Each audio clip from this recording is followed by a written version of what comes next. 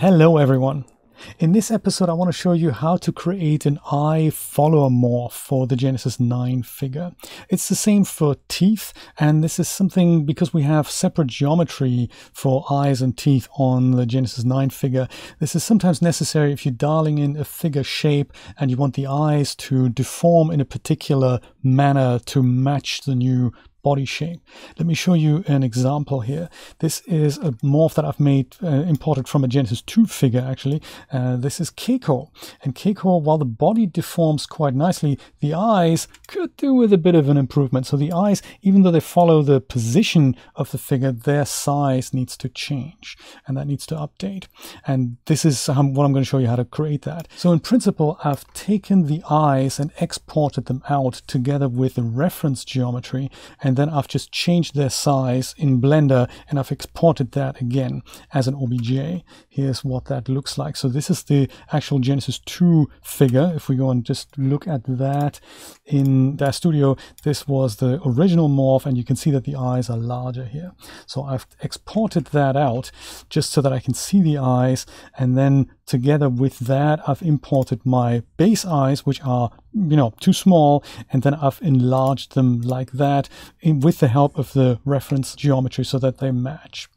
I have a supporter exclusive video if you wanted to see me do this. I've recorded that separately. I thought this isn't quite relevant to our session here, so I have it as a, you know, if you're interested in that, it's, it's available. So I have just done this, and if I dial up this morph, all I need to do is import this and make sure it's named just the same as the eyes.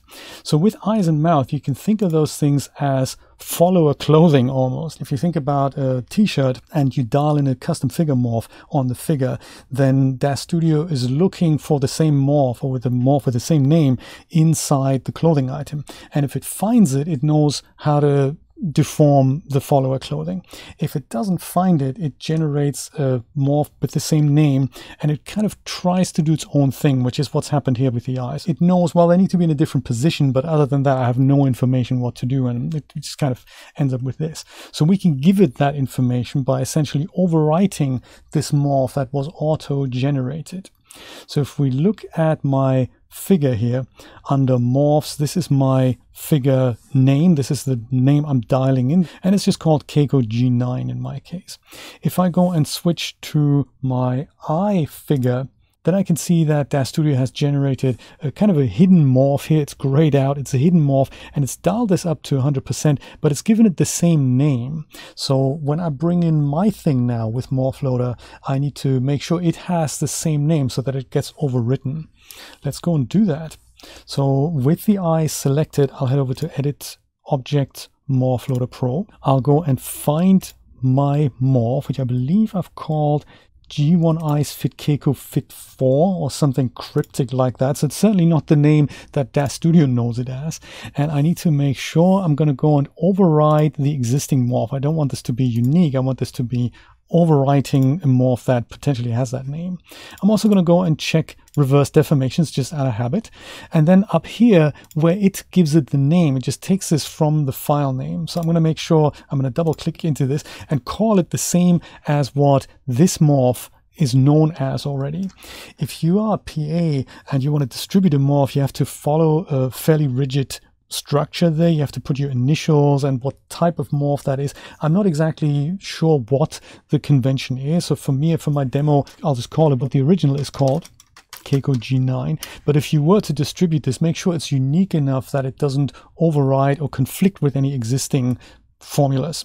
With that done and dusted, let me hit accept. And what should happen is that my eyes should now pop into place because the morph is already dialed up.